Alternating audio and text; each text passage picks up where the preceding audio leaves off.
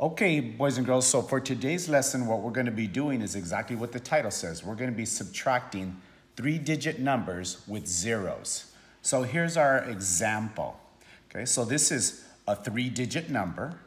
Both of them are three-digit numbers, but this one has zeros. Okay, so we're going to use our model method first. So if you look at our problem, it says 300 minus 123. So what I'm gonna do is I'm gonna draw this on my model. And as you can see, I already did.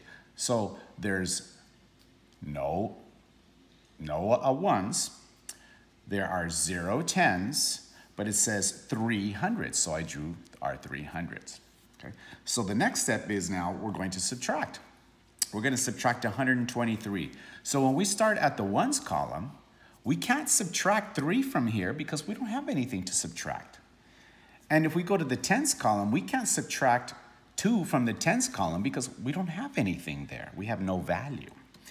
Okay. But we have hundreds, and we can subtract 1 from 300, but we still have to perform these operations first. So that means we're going to have to regroup from our hundreds. So I'm going to cross this 100 out, and I'm going to regroup it here in the tens column.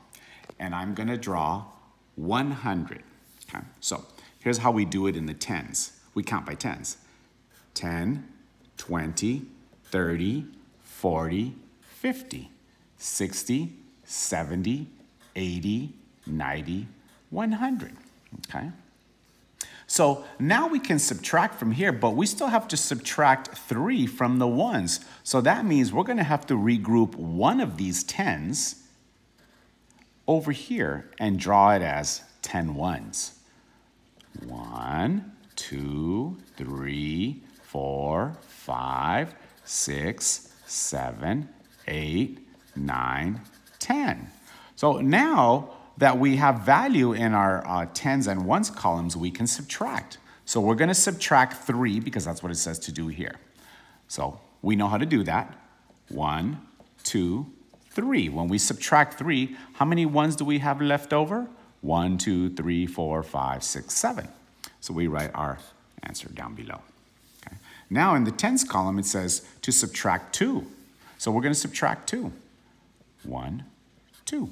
And now let's count the remaining tens.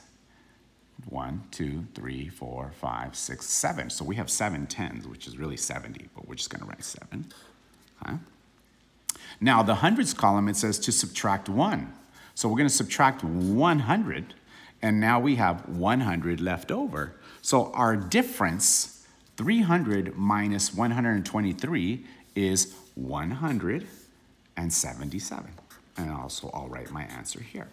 So we're going to do the same thing now using the algorithm. And the algorithm is, it's really the same as the model, okay?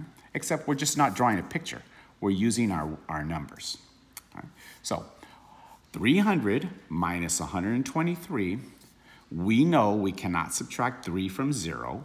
We cannot subtract 2 from 0. Okay, but we can perform, we can take 1 away from 3. So in order for us to perform these operations here, the subtraction operations, we have to regroup from the hundreds column, just like we did with the, with the model. So I'm going to cross off my 3, and I'm going to turn it into a 2. And that 100 that I borrowed, I'm going to put it over here, cross this off, and make it a 10. Okay?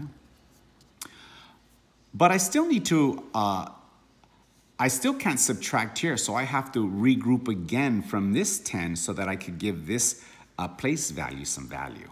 So I'm going to borrow 110. So I'm going to cross the 10 off again and turn it into a 9 and bring the 1 that I borrowed over here and make this a 10. Well, now I can subtract. So if I have 10 and I take away 3, I go, I count backwards. 9, 8, 7. Okay, my answer there. And now I'm ready to go to the tens column. So my tens column says 9 take away 2. And that's easy. We count backwards. 9, we take away 2, 8, 7. So I'm to write my 7 there. Now we're ready to subtract from the hundreds column, and this says 2 take away 1 is 1. So our difference is 177. 300 minus 123 is 177. And if you notice, the difference that we received here is the same difference that we got in the model. So it doesn't matter. You use whatever method you think is easier for you to subtract three digit numbers that have zeros, either the model or the algorithm. Good luck.